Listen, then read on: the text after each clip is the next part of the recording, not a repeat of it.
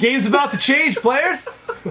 Jinteki was spoiled. The new identity, Harmony MedTech. Break it down for us. Oh my god, I love MedTech. So we got a 40, uh, 40 12. So we got a lower, uh, a lower card count. Um, and the ability says each player needs one fewer agenda point to win the game. So you only need six agendas to win. Uh, I'm just gonna go right off the bat. You only need three pointers in this deck, and you only need six of them. Right? Yeah. That's ri- ridiculous. Ridiculous. Um, unfortunately, the only thing we don't know is what Jinteki's 5 for 3 is, but I mean, like, oh my god. We're talking about a new level of speed that is going to be unheard of with this deck. And, I mean, and trap springiness. There's so many more every- traps now. All of Jinteki's strengths are just escalated with this card. Every trap becomes, you know, triple deadliness. Um, every asset, every bluff, it is just accelerated on this because the tempo of this game is going to be so quick. Yeah. anybody who plays this game knows that the that the that the the traps and the mind games and the real real pressure of the game happens when you reach the match point. Yeah. Anybody who doesn't know what a match point is, it's that turn where as the runner you know or you have the assumption that the corp can win next turn. So for whatever reason, maybe they have maybe they have 5 points and they installed and double and double advanced there is a potential, very strong potential, that you could lose next turn. That's right. If you let If them you, if you that. don't run on it, yeah. So you have to make. I mean, we're gonna we're gonna use the term run, but obviously there's there's mitigating factors in this. But you have to run and see that card and make sure that they're not going to win. So with the match points, a general match point for most people is five, right?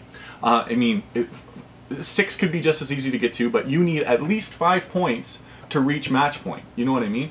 Um, I guess you could do four too if you if you if you're running a lot of three point agendas, Yeah. right? So the minimum match point to this for this game is is four agendas. Which if we break it down into any other faction, you need two agendas, right? Yeah, we got to score two. You have to have two agendas on your field before you reach match point. Not this deck. One agenda. One agenda and they're at match point. Yep. And then that makes June bugs, cerebral over overwriters. It just makes them mind blowing. Well, even anything that you can, like, you put an agenda and an asset down, right? Like, It has to be an advance advance because No, I mean you can't you can't like you you can. it even too. Feign, feign the trap, right? oh you well you have to. No, I, Yeah, I, I know, I know, I know. Ronan's So dirty. I think anything in a, in a remote becomes possibility, right? I think the I think I think you're right, but I um I think that that becomes a possibility in decks that are actually running three for twos. Um, that's a solid way to play this deck, and don't get me wrong. I think that I think that people will feel more comfortable running running two point agendas because what it does is Jinteki wants to run two point agendas anyway. Mm-hmm. It's because they're kind of tailored to, to play like that. But what this does for Jinteki is it makes us be able to win just like an NBN player. You know, we only need three agendas, just like an NBN player. Um, you know, Wayland has the ability to get to to get to three agendas really fast. So does Haas-Bioroid. A- And the only one that can't do that really easy is Jinteki, right? So if you want to play, you know, I mean, a great play set would be uh, th- three fetal AIs. Niseis are still incredibly strong, and and three um, uh, brain trusts. That's a that is a solid solid build. Um, you could even substitute Nisei for um, the the medical advancement one that's coming out too in the same pack. Uh, an advancement for four. It um, it's worth two points, but for everyone on the field, your side and the runner side, it costs one less to score. You know what I mean? So now you have brain trust, you have this, so you potentially have six agendas in there. Well, you technically have have five agendas that score for three points. You know what I mean? And not to mention with the medical uh, breakthrough, it really plays into your suit of just playing and advancing. What downside is they score it. Next one you play advances for less. It's like mind blowing. Yeah. What's I- um? Sorry, I'm, I'm just yammering on. I, I'm a little excited. I'm a little excited. What's your thoughts on the on, on the card counts? Like we have um, a, a 40-12, right? Was it? Yeah. Yep, 40 12. 4 to 12. Are you concerned with with us running a slim No. down Jinteki? No, because if if you're doing this the way that I think that it's going to happen a lot is you're going to have six agenda cards in the deck as opposed to the 11 or 12 that's normally played. There's your savings right there. What about Right? the influence though? Um, shouldn't hurt too bad because again, with a with a deck that's thinned down that much, you tend to not really need as many moving parts. So you can leave out a lot of the stuff that you'd normally have to splash for in order to pull off your, you know, four scores to win the game kind of thing. This one you The just one that got I've been score two. The one of my I've been mocking up in my head. I think a cerebral override is a, is a, is a yeah, necessary y- card. That would be one I'd put that in costs for, for, sure. two, and Fenris is a very early century end run. Um, that costs two influence. So there's your there's your twelve right Or there. do you Three try three. and build this into a style of NBN that we're seeing? Like, would you put a Sansan in here to try and uh, to Um, cut those down? my immediate my immediate um, two decks that I'm working on in my head, and I'm trying to justify which I'll be playing because I'll definitely be, be playing Harmony Med deck. Um, but there's the one that focuses on um, having all three point agendas, so six three point agendas, and less snare type cards. You know what I mean? So it's less R and D lock or R and D traps and more advancement style June bugs and and Ronins and stuff like that. And then the caveat to that would be the the or the or the whatever the next deck would be running the two the two point agenda so you only need the three but just titting it out with all of the the HQ tra- uh, all of the uh, R&D traps so I'm talking three snares you're already running two point agendas you have three fetal AIs because the original build that I talked about doesn't have fetal AIs which Yeah. is a scary scary thought for for a seasoned uh, Jinteki player and then yeah you basically are going to be running uh, and then Shocks is coming out, and then who knows what else they're going to be doing. How how do you feel about as a runner seeing a card like this? Like, are you are you more worried scoring six points than seven? Like, it, it, it seems to be that weird Jinteki mind game Yeah. in there. That So a couple of things that are going to come with this. Um, exposing will be a huge downside to playing a deck like that. So Zaibatsu loyalties are probably going to be in these decks. Necessary, Yeah, it'll be a necessary evil. So that's going to prevent the the infiltration. It's going to prevent the sneak and peeks. The problem then lies with, m- like, how could you possibly run a remote? How you know, like you, you are so unsure, and you know for a fact that there's so few agenda cards in the deck. Like, what are the odds that that is an agenda versus what are the odds that that's a trap? Well, chances are it's a trap. There's more traps in the deck than there are agendas, right? So, if, if you what you're probably going to have to do is if you are not going to be including snares like that, the snares are going to be like the the the least of your worries now. So the R&D deep diving lock will be the only thing I think that will counter this kind of deck. And even then, putting building your ice correctly, you're going to make that very difficult for the runner to do and and very punishing if they don't do it correctly. So that's going to be the only downside and then like you know like the indexings and the the maker's eyes and just getting lucky and snagging two games over. so You know when what I this mean? When, when this car, the, when this identity comes out, it's also going to be complemented with the criminal silhouette, who is going to be the majority of the expose. So are, are, are we going to see a trade off? Do you think there's going to be a big enough shift? Well, Two exposed cards that are going to downfall criminal though, right? I think I think expose. I think I th- and I I'm so stoked to see the black card deck. I'm so stoked to see silhouette decks and just.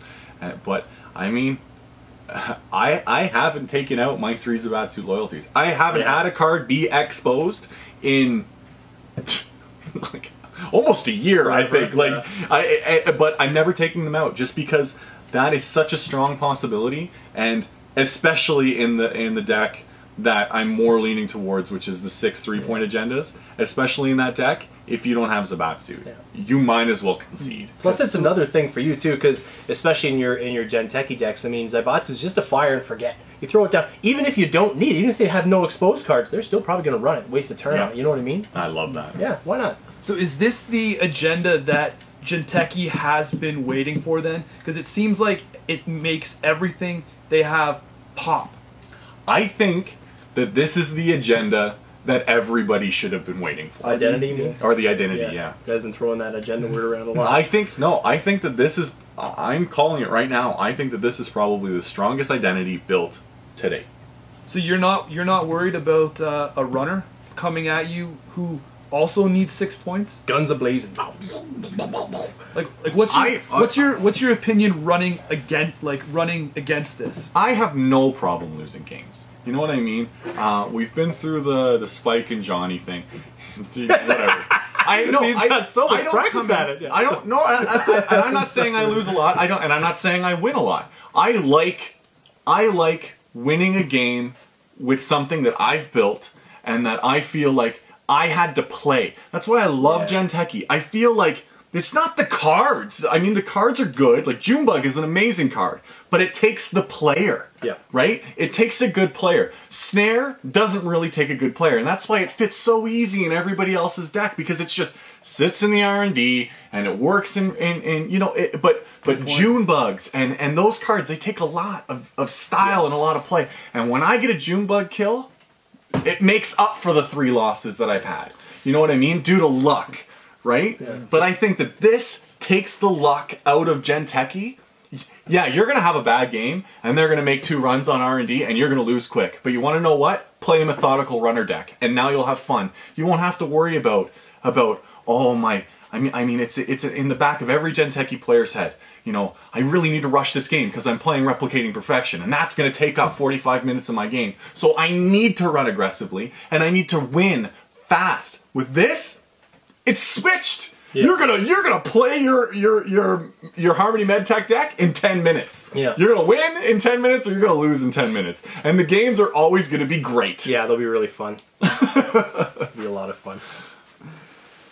I think that I think it comes back to the match point, and and and there was a great article on Reddit, and uh, we might post a link to it. But um, I think that that's like that has to be such a strong idea in the back of every court player's head. How do I get to match point as soon as possible? Because you know, if, if I lay a June bug, um, if I lay a June bug and I need seven advancements, right now there's no f- there's there's no four four point agenda, right? So until that happens, everybody needs three agendas. So if if I uh, lay a June bug first turn and advance it, the runner could ignore that because there's no there's No, no, there's no real downside to yeah letting it be. I don't mind people scoring one agenda because then it makes it to it it makes it fair, right? But in the Harmony MedTech, if I know all you need is one agenda point, that scares me, Yeah. right? So is this? Do you feel that this card is going to bring the balance that Jinteki needs? Then, from your opinion, like a lot of people right now are, their opinion on Jinteki is that Jinteki wins because of runner mistakes, yeah. right? So I mean, the the scales of Jinteki go either you're very pro Jinteki, or you are. You know, uh, Jinteki is all a roll of the dice. I, anybody can win against Yeah. them. Right, right. Do you think that this agenda adds the balance to it? But like you said, right, like two runs and the game could be over. Yeah, I think I really do think that it does bring it back because anybody who's been diehard Jinteki this entire time is very good at playing Gen Hopefully they are. I mean, if not, then they probably should have gave up on it a while ago. But um, what's uh, what's not said a lot is we joke around a lot about games kind of thing. The only reason that I am able to beat his Jinteki is because I know how to play him. Right? Yeah. When you take your decks to any tournaments out here, how often does that deck win? No, It wins a lot. a lot. lot because people don't know how to read him. And if you can't do that, you can't win, right? And I would be, So, I would be. uh, I don't know. I don't know. It, it might sound conceited, but I think I lose more due to lucky runners than I win. Like I don't win because I'm lucky. You know what? I don't get lucky wins. Yeah. You know what I mean? I get. There might be an unlucky runner, but my wins, I earn. Yeah. I earn every one of my wins. so when you take that kind of player and you pair it with this new identity, what you're going to see is, yeah, you're going to see a little bit more balance. You're going to see the guys who are basically they people can read them. If, if like so if you were to take this deck and uh, like any uh, when we play I, I can read you pretty good. Yeah. but it's kind of not gonna matter anymore. You know what i mean? Like so it, it's not as if I, I won't be able to just kind of walk through the game as, as i normally do just methodically. I can't anymore. And so anybody who is good at playing jinteki will be able to take this deck and and with with even half decent first hand draw is going to be able to dominate pretty early on right if you can and the thing is then if you're a good player and they don't know you i mean they almost don't have a hope in in hell you know what i mean like because you're just down and then the two advancement tokens and a couple ice and go and they boom hit a trap dead And You know we're what I mean? not we're not even like considering a couple of the other cards that are coming out in here. And I just want to let- Let's say quickly that um, it, this style, right now, from what we've seen, is it foolish to run anything but the three points with this? Is is is all three point agendas the way to go with this deck? We It's, don't go- it's know. got to be comfortable because I'm telling you right now, I have a med tech built, like a, a deck built. because I, I'm pretty sure that in the comment section, there's going to be the few people that still say an R and D lock is going to kill Jinteki. Is going to be the you know the bane of this existence a of of highly deck. successful one will but that's the thing remember there's only going to be six cards of agenda in this deck so they could go deep diving and come up empty quite often because you know that I mean? that three point the the all three points will have very little R and D traps. You, you just can't fit it. You can't because you need advanceable traps in order to score. Yeah. Like scoring, scoring these these five pointers are going to be ridiculous. Yeah, but if, and if that's that's why I think it's leaving the R and D very open, very vulnerable. well, if they but if they're forced to run the R and D, then that's where your ice goes, right? If running on your hand does nothing for them and they know it, they're not going to do it. because you're, you're already nothing. at slim, right? You already Yeah. got the you're already forty. I, I don't. But it lets us focalize our ice, Yeah, so right? if you're able to just put them over your remote server and your R and D, uh, I'm just trying to be devil's advocate. no, that's fair, and they're all Um, and they're all honest questions. because- go ahead, get in I've- my hand, right? when I I think I've changed, I've bounced runners the most, and when I or see an agenda that has these lower card counts, you know, uh, and the NBN Chaos Theory, I do not. I think it loses it if you go over the card counts. oh yeah, that Yeah, yeah. defeats You gotta keep it purpose. thin. right? So Keep I it always play play if it's a 40 card, I'm I'm 40 cards. Um, I know there's a few people that like to play, um, y- you know, the NBN one just under, you know, so they're they're not making that next agenda threshold. So they'll play like 43 or or whatnot, right?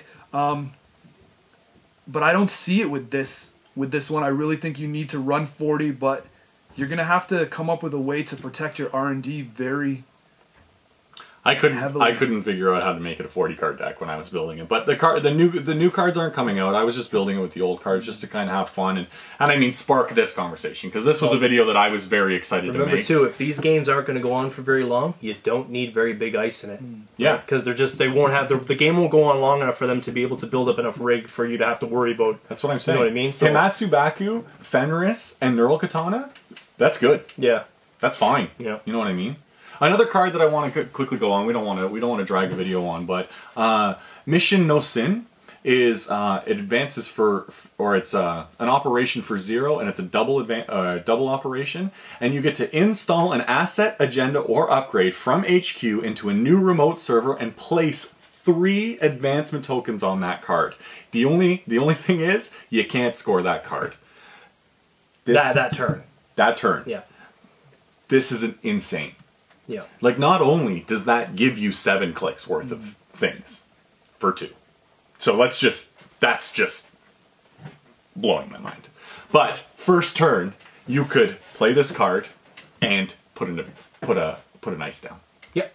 yeah because you're And gonna- you have five dollars. You're gonna have to. I think you're gonna really have to think of a way to escalate Jinteki into a fast advance with this. Like to me, I don't think that you're gonna want to be playing around and and hoping people bait your traps. No, and you want to just bomb this You know, you're not you're not looking to flatline anybody in this build. You're looking to score two threes as quickly and most efficiently as possible. So this is not a uh, a mess around with all the other Jinteki hoopla. You're just using that there to aid you in quickly scoring Mm-hmm. 6 Yeah. points and getting And let's say, for instance, I, I, I mushin no shin out the trap, and you have your you have your expose card, and you expose it, and you realize that it's a trap, and you don't run it. The, the thing about it is, now I have a card with three advancement tokens on it. trickle All I need is one more advancement on it to be able to score something out of hand with two trickle lights. Yeah. And how often will I see those trickle lights in a 40 card deck? Pretty often. friggin' often. yeah. So, Yep. What do you think? Final thoughts? Yeah, Final thoughts, dynamite. game changer. Game changer. Game changer for at least for Jinteki players. I mean, for runners, they're just going to need to try and find a way to R and D as hard as you possibly can Yeah. because that's like your only hope. and after that, you're done. What You'll- about the competitiveness of this? Is this going to Oh, be highly competitive? Is this going to be a, a um, an identity that you could run confidently in a tournament? Yes, setting? it'll be a tournament favorite for the reason you touched on before because the games will be quick. So if you can rifle off quick games uh, with your corp and then move to your runner of choice, I mean you'll be pretty good. Especially if you're if you're if you're really focused on your runner and you've got a really high percent uh, win chance with your runner, and if you got like a, even just a 50-50 with your corp, you're still going to come out doing really really well. That's generally how I play in tournaments, and I place I place relatively high. I don't. I, I mean, I came in second at our uh, at our regionals, and and I've, came in second in a couple tournaments now, or uh, placed in a couple tournaments now. And my Jinteki doesn't win all the time, but having a strong runner definitely helps. But I think that between my my running skills, because I'm a better runner than I am a court, but between my runner skills and just getting this like. It's just somebody in my back corner giving me a, Yeah. a massage now while, while I'm Yeah. playing. I'm just gonna be so confident. Oh, Does this um like you've never you started as a Jinteki player and then kind of moved away from it and, Yeah. and you've bounced back here and there when when you need to try out new things in Jinteki. And he's always helped us build our Does- Jinteki decks. Does this does this card or does this identity rank as your top one over the other one? Are you like I know with Chronos we talked about the, Yeah. the this the switcheroo out of the two that are out now, right? Replicating perfection and um, Personal evolution. personal evolution. Are you taking Harmony Medtech over those two? yes, yes, strong yes. So so I best feel that my playstyle would really benefit. best- I might even make the switch. I best know. Jinteki identity Yeah. that you've seen. yeah, that I've seen hands Um, down. your closing comments here? I think it's the best identity that I've ever seen. Period. Um, and I just want to touch on one thing. We've been saying that uh, the counter to this would be an R and D lock. Um, Caprice Nisei is coming out well before this identity, and that is something that you can't break. It's a 33% chance that you'll get into the Yeah, to the R and D. So make those runs. Make them. Dare you? I think I'm gonna have to agree with uh, Corpse here. This is the best Jinteki um, identity out of the current two. If Chronos Protocol comes in, I, I would be hard up to um, which one I would run out of uh, MedTech and Chronos. No, I wouldn't. That's not even on the same level. I don't know. I, I, I like I like the. Chronos uh, idea. I like the HB one better, but um, this one here is is definitely uh, an identity that I could get behind with Jinteki and put something together. And I do believe that this is the best identity you can run with Jinteki to go to a tournament with. This could you could definitely see this at regionals. You could definitely see something like this running Oh, at worlds. Yeah. And and you will. And anybody who's been on the fence about running Singularity, this will be the, this will be the time to do it because, yeah, just going. Oh, you got three advances, Singularity. Let's trash that before I even get to it. So Uh, let us know what you guys think um, about MedTech in the comments below. If you're not a subscriber, please subscribe. And thanks for watching, guys. Take care.